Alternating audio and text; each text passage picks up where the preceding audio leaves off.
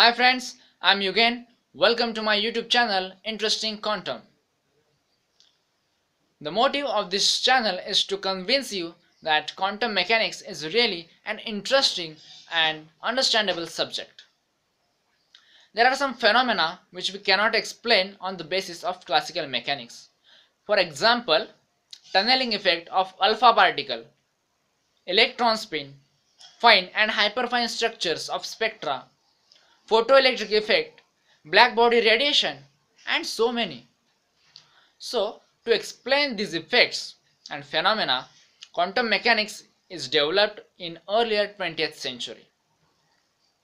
In quantum mechanics, we study very tiny particles such as electron, proton or even smaller particles and radiation. Quantum particles we neither see with our naked eyes nor with any instrument. So that we need some probability to explain physical parameters of these particles such as position, momentum, energy. Classically, which is not needed. That's why quantum mechanics is called probabilistic. If I know initial position, velocity and force imposed on a particle, classically we can determine its future or its future trajectory after a time t where it can be. We can deterministically say that. But quantum mechanically, which is not possible. This is because quantum mechanically some extra forces are imposed on the particles due to our measurements which is very negligible at classical level.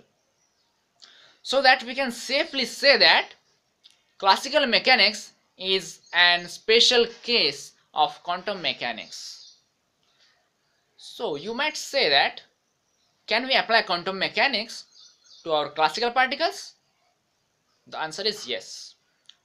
We can apply quantum mechanics or wave function classical particle such as moving car, bus or tree or anything which is classical.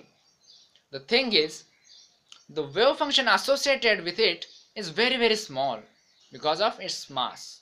Its mass is very greater as compared to the wavelength so that we neglect the wave nature or the quantum nature of the particle.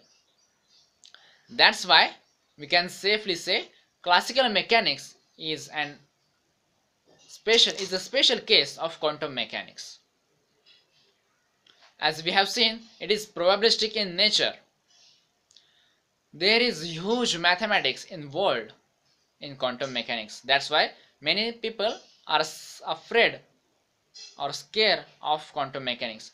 There is huge and complicated mathematics involved in this quantum mechanics. But in this channel, we will try to overcome this difficulty level of uh, mathematics and try to find out tricks and ideas to overcome these mathematics. Uh, thanks for watching this video. If you have any queries, please feel free to comment me, like and share this video, subscribe my channel and press bell icon to get notification for further videos. In next video, we will talk little bit about some basic functions in statistics such as probability which is required to build